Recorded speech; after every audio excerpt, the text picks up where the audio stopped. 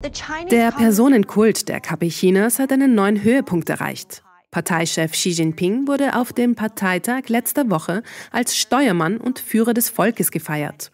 Das sind Ausdrücke, wie sie Chinas erster kommunistischer Führer Mao Zedong verwendete, der die jahrzehntelange brutale Kulturrevolution im Land vorantrieb. Wegen Maos ehrgeizigen großem Sprung nach vorn verhungerten Millionen Chinesen. Jetzt beansprucht Xi Jinping den Führungstitel.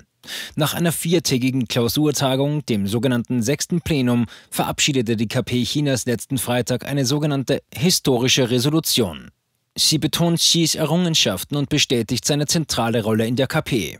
Dunkle Momente aus der Parteivergangenheit blieben hingegen unerwähnt. Man geht davon aus, dass Xi im nächsten Jahr seine dritte Amtszeit als Parteichef antreten wird. So etwas gab es bislang noch nie.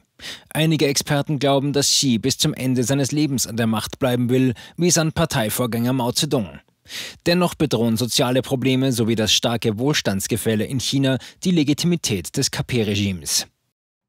Kurz vor und während die Parteieliten in Peking tagten, kam es wiederholt zu massiven Taxifahrerstreiks in der Metropole Chongqing, Südwestchina. Tausende Taxis blieben auf den Straßen stehen und hupten. Auf Social Media veröffentlichte Videos zeigen einen unaufhaltsamen Strom gelber Taxis in Chongqing am vergangenen Donnerstag, den 11. November. Die Taxifahrer streiken gegen die ihrer Ansicht nach überhöhten Gebühren des Unternehmens. Die Fahrer beschwerten sich darüber, dass die Taxiunternehmen über 70 Prozent ihres Bruttoeinkommens einbehält. Sie müssten zudem die Kosten aus eigener Tasche bezahlen, sodass ihnen fast nichts bleibt. Wir machen das schon seit einiger Zeit. Wir posten Fotos von unseren Bruttoeinnahmen auf der Social-Media-Plattform WeChat. Das sind Fakten. Wir haben Beweise dafür, dass die Betriebsbedingungen schlecht sind. Und deshalb fordern wir das Taxiunternehmen auf, seine Gebühren zu senken. Der Fahrer Yang erklärte gegenüber Entity, dass dies der zweite Streik in diesem Monat sei. Der erste war Anfang November.